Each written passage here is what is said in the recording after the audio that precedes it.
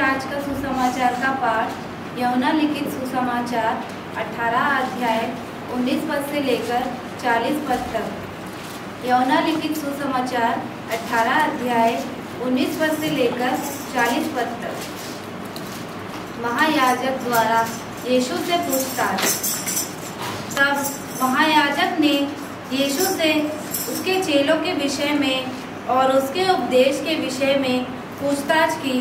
यीशु ने उसको उत्तर दिया, मैंने संसार से खुलकर बातें की। मैंने आराधनालयों और मंदिर में जहाँ सब यहूदी इकट्ठा हुआ करते हैं, सदा उपदेश किया और गुप्त में कुछ भी नहीं कहा। तो मुझसे क्यों पूछता है? सुनने वालों से पूछ कि मैंने उनसे क्या कहा। देख, वे जानते हैं कि मैंने क्या क्या क्या कहा।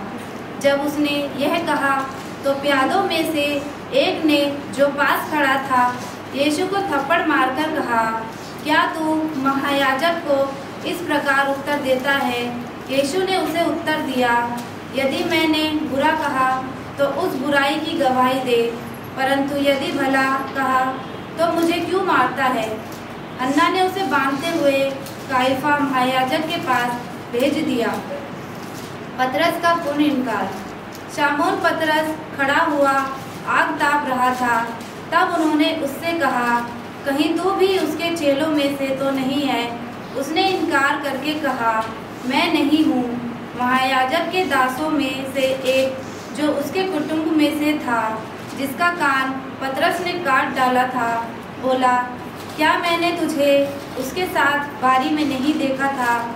पतरस फिर इनकार कर गया और तुरंत मुर्ग ने बाँध दी। पिलातुस के सामने यीशु। तब वे यीशु को काइफा के पास काइफा के पास से किले को गए और भोर का समय था, परंतु वे आप किले के भीतर नहीं गए ताकि अशुद्ध ना हो, परंतु फंसे खा सके। तब पिलातुस उनके पास बाहर निकल आया और कहा, तुम इस मनुष्य पर किस बात का आरोप लगाते हो? उन्होंने उसको उत्तर दिया, यदि वह कुकर्मी ना होता तो हम उसे तेरे हाथ ना सौंपते। पिलातुस ने उनसे कहा तुम ही में से इसे ले तुम ही से ले जाकर अपनी व्यवस्था के अनुसार उसका न्याय करो। यहूदियों ने उससे कहा हमें अधिकार नहीं कि किसी का प्राण ले। यह इसलिए हुआ कि यीशु की वह बात पूरी हो, जो उसने यह संकेत देते हुए कही थी कि उसकी मृत्यु कैसे होगी। तब पिलातुस फिर किले के भीतर गया और यीशु को बुलाकर उससे पूछा, क्या तू यहूदियों का राजा है? यीशु ने उत्तर दिया, क्या तू यह बात अपनी ओर से कहता है या दूसरों ने मेरे विषय में तुझसे ये कहा है? पिलातुस ने उत्तर दिया, क्या मैं यहूदी हूँ? तेरी ही जाति और प्रधान याजकों ने तुझे मेरे हाथ सौंपा है। तूने ये क्या किया है? यीशु ने उत्तर दिया, मेरा राज्य इस संसार का नहीं, यदि मेरा राज्य इस संसार का होता तो मेरे सेवक लड़ते लड़ते कि मैं यहूदियों के हाथ ना सौंपा जाता, परंतु मेरा राज्य यहाँ का नहीं। पिलातुस ने उससे कहा तो तू राजा है? यीशु ने उत्तर दिया, तू कहता है कि मैं राजा हूँ। मैंने इसलिए जन्म लिया और इसलिए संसार में आया हूँ कि सत्य की गवाही दूँ। जो कोई सत्य का है, वह मेरा शब्द सुनता है। पिलातुस ने उससे कहा सत्य क्या है? मृत्यु दंड की आज्ञा।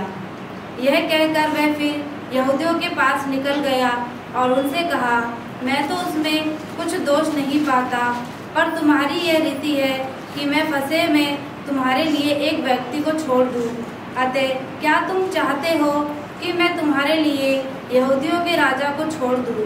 तब उन्होंने फिर चिल्लाकर कहा, इसे नहीं, परंतु हमारे लिए बरब्बा को छोड़ दे और बरब्बा डाकू था। ये था पिता परमेश्वर का पवित्र वचन। परमेश्वर का धन्यवाद। हो